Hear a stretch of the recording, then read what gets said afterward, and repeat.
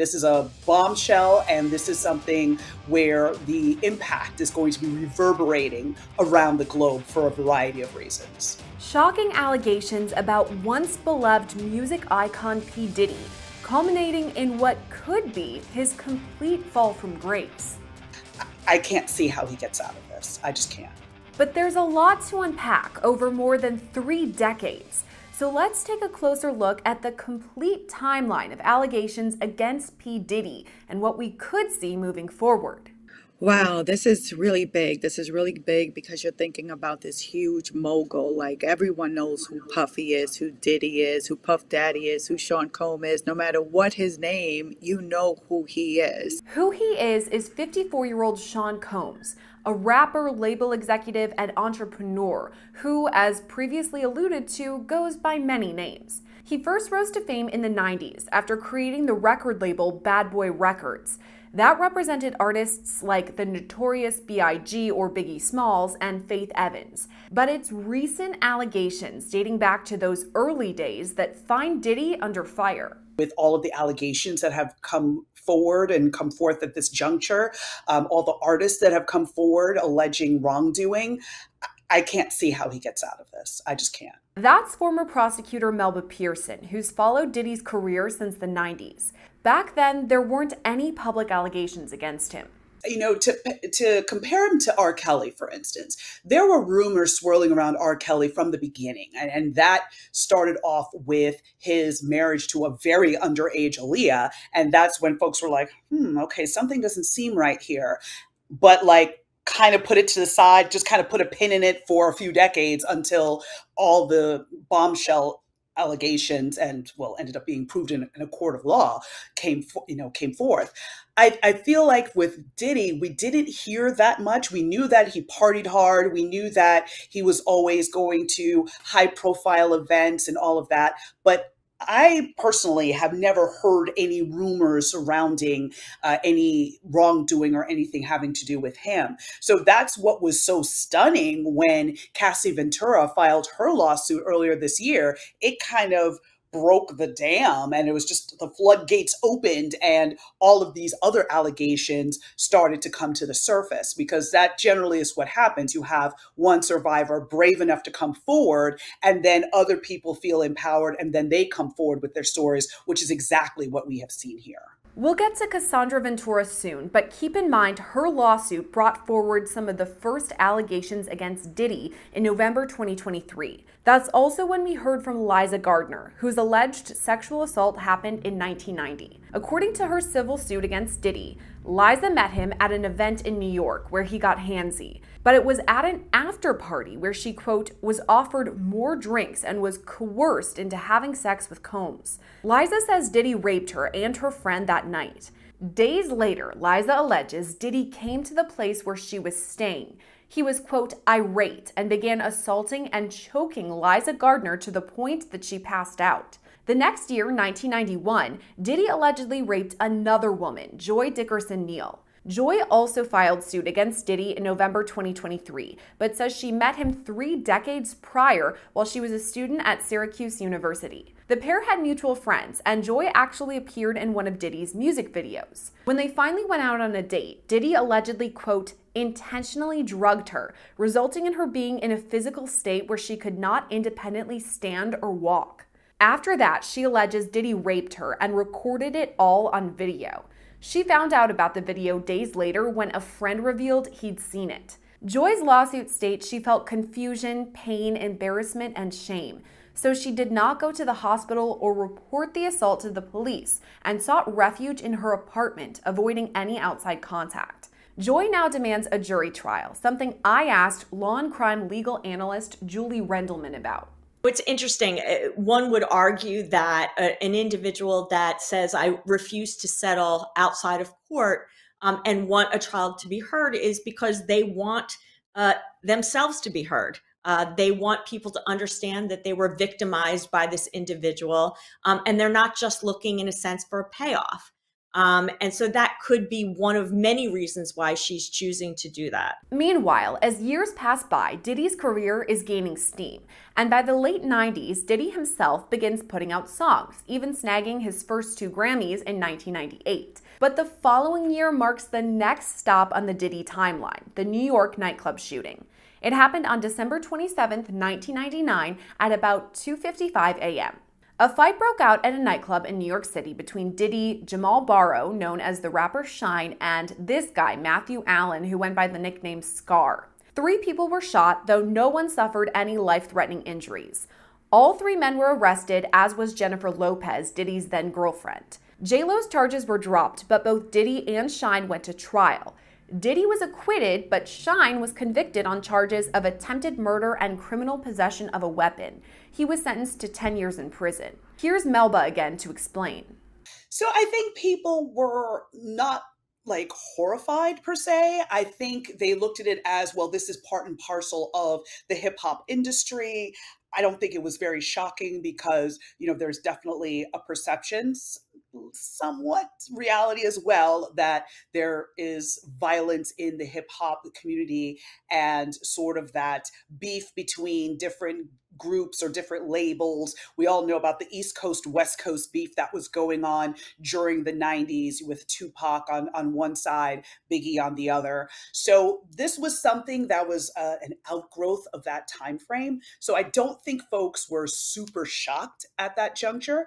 Um, I think what was more shocking was sort of Jennifer Lopez's involvement in all of this because I don't think, even though she was like, yeah, I'm Jenny from the block, I don't think anybody really saw her as really going to be that quote unquote that chick who is you know coming with the, the firearm and is going to you know hold it down and ride or die for her man. Like i don't think people really saw that of her. So i think that was the most shocking part of the case back in 1999 but the fact that diddy and uh, Shyne who was the art- artist who was involved in that incident the fact that they were charged i don't think anybody was super stunned. Let's put a pin in this shooting and move on to 2003 this is when Jane Doe says she was raped by Diddy when she was only 17 years old. Along with the others, Jane Doe filed civil suit against Diddy, but says her rape happened 20 years prior. When she was just a junior in high school, Jane Doe says she met one of Diddy's friends at a club near Detroit. After that, he flew her on a private jet to New York to meet Diddy. She says Diddy raped her in a studio there, and her lawsuit includes specific notes about Diddy, saying, quote, he told her that he could not orgasm and asked her to squeeze his nipples as hard as she could to get him off. And while Jane Doe doesn't list her name in the lawsuit, she does list multiple photos of herself and Diddy. Here's Julie again. Uh, what's the reason that anyone who's making an accusation against a high profile celebrity would choose to not have their name out there? One, they're concerned about potential threats against them. They want to protect their anonymity, their privacy. Um, and so it's not unusual that we've seen it. We've seen it on multiple other cases, especially when someone's alleging that at the time that the allegation occurred, they were underage. Um, and so it's it's not unique um, to hear of a Jane Doe suing an individual. And quite frankly, in regards to if there's criminal allegations, you may very well see uh, allegations against various Jane Does, Jane Doe one, two, three, which we've seen in prior uh, criminal cases in the past. From there, we fast forward to late 2005 or early 2006 when Diddy met Cassandra Ventura, who would later be known publicly as the singer Cassie. According to her suit, she started working with Diddy when she was just 19 years old and he was 37. She says Diddy began, quote, almost immediately asserting possession and control over her and inserting himself into all aspects of her career and her personal life. That includes things like forcing Cassie to use illegal drugs and have sex with prostitutes, as Diddy watched or masturbated. She also alleges he recorded many of these interactions. Cassie's lawsuit also states that multiple times each year, Mr. Combs would violently beat Miss Ventura, leaving bruises on her body, by hiding Miss Ventura in hotels for days at a time to let her bruises heal. The next stop on the timeline is 2011, when Cassie had a brief flirtatious relationship with rapper Kid Cudi. She says that in 2012, Diddy told her that he was going to blow up Kid Cudi's car and that he wanted to ensure that Kid Cudi was home with his friends when it happened. Around that time, Kid Cudi's car exploded in his driveway. From there, we time hop to September 2022 when Rodney Jones, also known as Lil Rod, began working with Diddy. For the next year and a half, Lil Rod alleges he suffered abuse, all at the hands of Diddy himself. Now, according to the lawsuit, Lil Rod lived with Diddy for months at a time. He produced nine songs on Diddy's latest album, the Love Album. Lil Rod alleges he was, quote, the victim of constant, unsolicited, and unauthorized groping and touching of his anus by Mr. Combs. At times, Lil Rod says Diddy touched his private areas without consent and forced Lil Rod to watch him shower or have naked body massages. Lil Rod says Diddy, quote, attempted to groom Mr. Jones into engaging in gay sex. Lil Rod even alleges that Diddy promised him things in order to keep him quiet, like $250,000 to buy instruments, ownership of Diddy's $20 million property in Miami, and even a Grammy for Producer of the Year. Let's pause this P. Diddy story for a quick second to thank Morgan & Morgan for sponsoring today's Law and Crime news package. It's stories like this that remind you you never know what's going to happen, and the world is an unpredictable place. So when you're hurt, it can be confusing, it can be scary, and you don't really know where to turn. Well, enter Morgan & Morgan, America's largest injury law firm. You can submit a claim in 8 clicks or less on your phone and find out if you have a case. If you do, your injury could be worth millions. In the past couple of months, they've gotten verdicts of $12 million in Florida, 26 million in Philadelphia, and 6.8 million in New York. Also, they have over 1,000 lawyers, so you know you'll be in good hands. So if you're interested, you can start by easily submitting a claim at www.forthepeople.com slash lcnews or by dialing hashtag law, that's hashtag 529 on your phone. All right, let's get back to that story.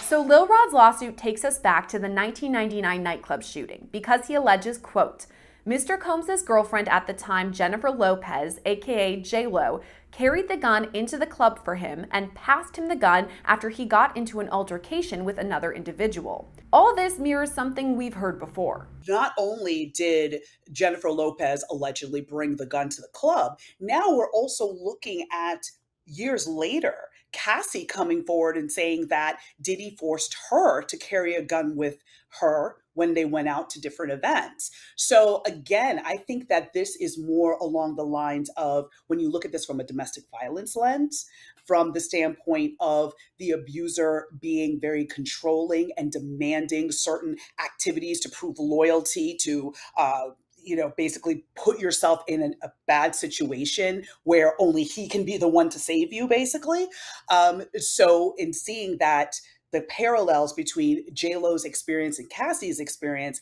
Number one, it brings more credibility to what Cassie said in her pleadings, but also, again, it causes us to look at Jennifer Lopez and be like, some of the comments she made about the end of her relationship to Diddy in terms of, well, you know, there was infidelity and, you know, she kind of skirted the issue a bit. But when you start to look back at your her comments, you start to think, ooh, were you in a domestic violence relationship with Diddy, much like how Cassie ended up in a domestic violence relationship with him? And experts we spoke to, like former FBI agent Bobby Chacon, say the investigation into this shooting could be reopened. If there's a civil lawsuit that lays out this major allegation, what would it take to reopen an investigation into something that happened 25 years ago?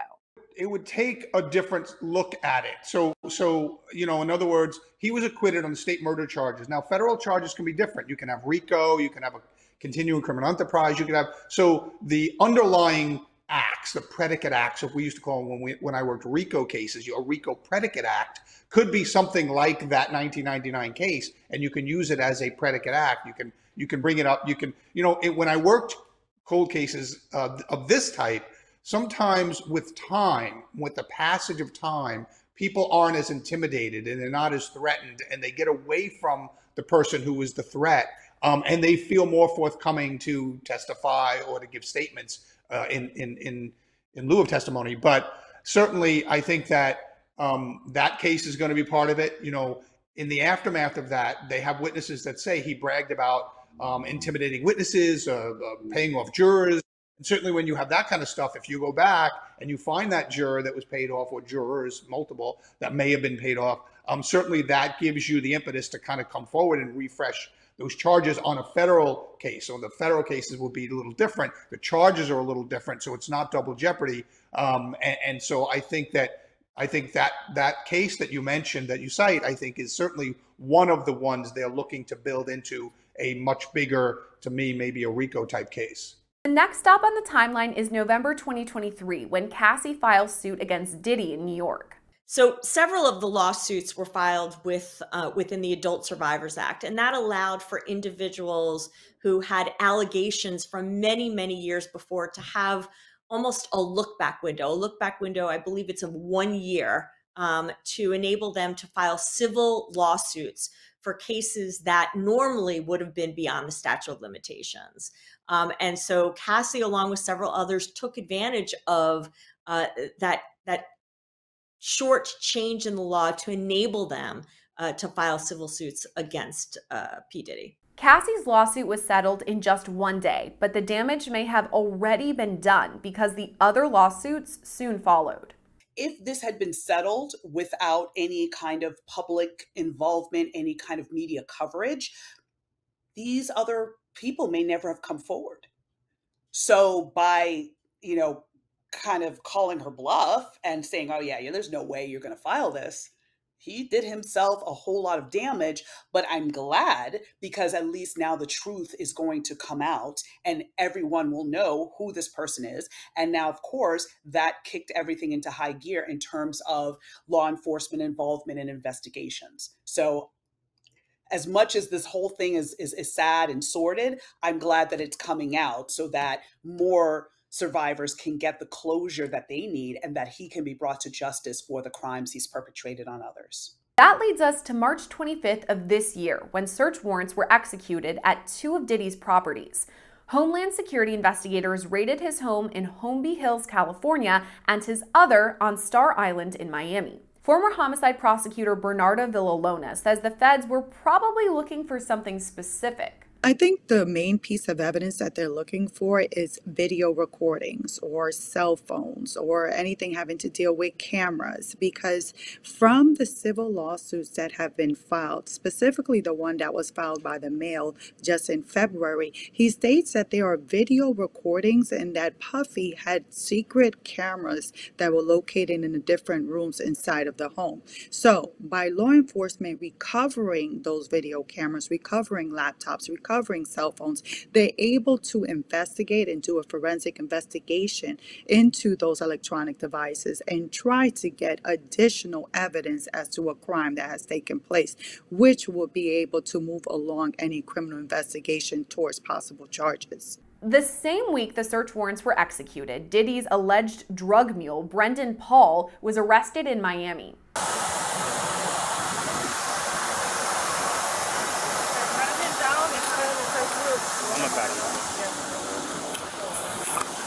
We first heard Brendan's name in Lil Rod's lawsuit, where he's listed as Diddy's mule, who allegedly, quote, acquires and distributes Mr. Combs' drugs and guns. He was arrested at the Miami airport while trying to board Diddy's plane.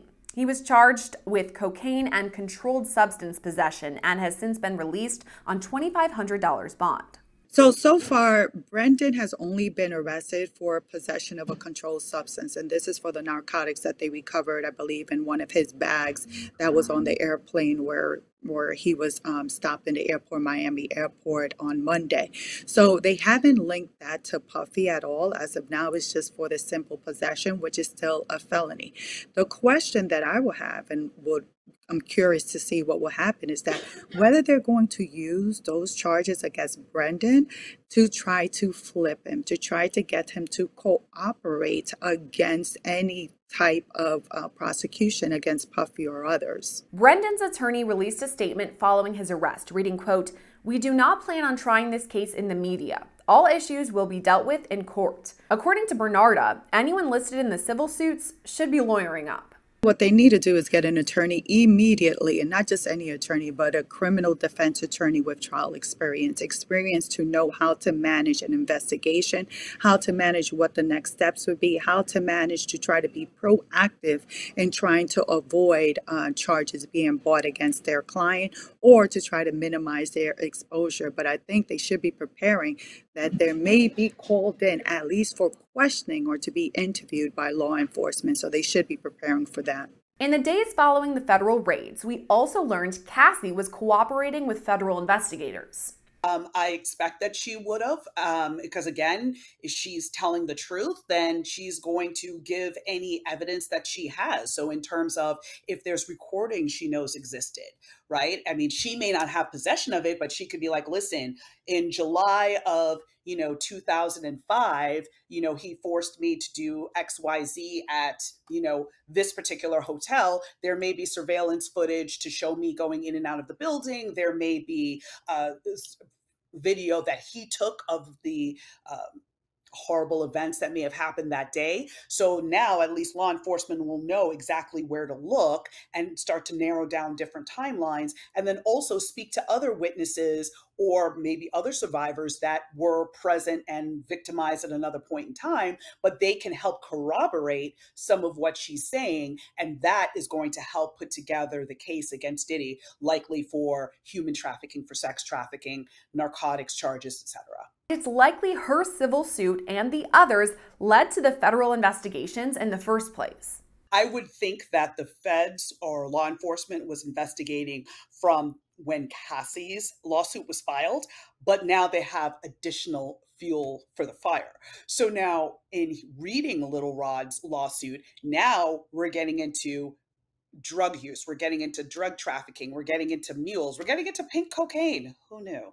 Um, and so you're hearing and seeing all of these other allegations that now the feds can be like, okay, now I know I need to look for surveillance tapes. Now I need know I need to look for this this aspect. Now I need to speak to these folks because they were listed in Little Rod's um, you know lawsuit. So for instance, you know, Young Miami was one of the people that were mentioned as having been at those parties and may have been forced to do certain things at these parties. So now the feds know to go and speak to Young Miami. We don't know if her path intersected with Cassie's during the time that she was there. I don't recall her being mentioned in uh, Cassie's lawsuit. So this is a new person now, a new player that the feds can go and speak to to get evidence and get testimony and then continue to build the case from there. On March 28th, another civil suit was filed, this time against Diddy's son Christian Combs, who also goes by the name King Combs. Plaintiff Grace O'Marcaigh, who's represented by the same attorney as Lil Rod, alleges Christian Combs drugged her and sexually assaulted her on a yacht in late 2022. Christian's attorney says the lawsuit is made up of, quote, manufactured lies and irrelevant facts, and they are seeking to dismiss this outrageous claim. But then last week, we heard even more allegations, pointing the finger at another one of Diddy's sons, Justin Combs. New filings from Lil Rod allegedly show Justin Combs inside Chalice recording studio with a sex worker he'd apparently solicited. Justin's rep released a statement about these allegations reading, quote, Justin Combs categorically denies these absurd allegations. They are all lies. This is a clear example of a desperate person taking desperate measures in hopes of a payday. There will be legal consequences for all defamatory statements made about the Combs family. But these same filings from Lil Rod double down on accusations against record labels like Universal Music Group and its CEO, who were listed as defendants in Lil Rod's suit. According to these new court docs, Lil Rod, quote, personally saw executives from the defendant record label present at the recording sessions during the times that sex workers were present. The attorney representing UMG and its CEO, Lucian Charles Grainge, says listing him as a defendant is an attempt to fit a square peg into a round hole. He recently made a new filing, including sworn statements from two executives at UMG who counter what Jones has alleged. All that leads us up to right now, with these startling accusations against Diddy, but no criminal charges. So, what's next? I think we'll be looking at definitely narcotics charges because of the fact cocaine seemed to feature very prominently in, in all the legal filings. Um, I think it's going to be around human trafficking or sex trafficking, basically, because again, you're moving people from one state to the other for the purposes of, of you know, sexual gratification, right? And without their consent, and you know, who knows if folks were underage. Like again, we're still all finding out all of the details. So again again, the investigation's ongoing. So we don't know where this may end. Um, but those are the top charges I'm thinking of. There could be firearms charges, again, depending if guns were brought across state lines and the people who were bringing them were not licensed or something along those lines. So those are the things that I'm thinking will end up showing up in a federal indictment. It'll be the perp walk that'll be covered by every single outlet around the globe right? So that is going to be, again, sort of that bombshell moment because it's the culmination of all of these high profile and celebrities and folks coming forward with their testimony. So that's going to be huge. I think it's going to be very much parallel to what we saw with R. Kelly and other celebrities that have been arrested for similar crimes. So I think it's going to be a media circus in a lot of ways, uh, but hopefully in all of this, the survivors will not get forgotten and will not get lost in the shuffle. They have to be the central focus of all of this. We still haven't heard from Diddy about these allegations in 2024, but in late 2023, he posted this statement to social media. Quote, "Enough is enough. For the last couple of weeks, I have sat silently and watched people try to assassinate my character, destroy my reputation, and my legacy. Sickening allegations have been made against me by individuals looking for a quick payday. Let me be absolutely clear. I did not do any of the awful things being alleged. I will fight for my name, my family, and for the truth. As for the federal raids, Diddy's team calls it a gross overuse of military level force, saying there's no excuse for the excessive show of force and hostility exhibited by authorities or the way his children and employees were treated. In response to Lil Rod's lawsuit, Diddy's team says in part, quote, his reckless name dropping about events that are pure fiction and simply did not happen is nothing more than a transparent attempt to garner headlines. We have overwhelming, indisputable proof that his claims are complete lies. Reporting for Law and Crime, I'm Sierra Gillespie.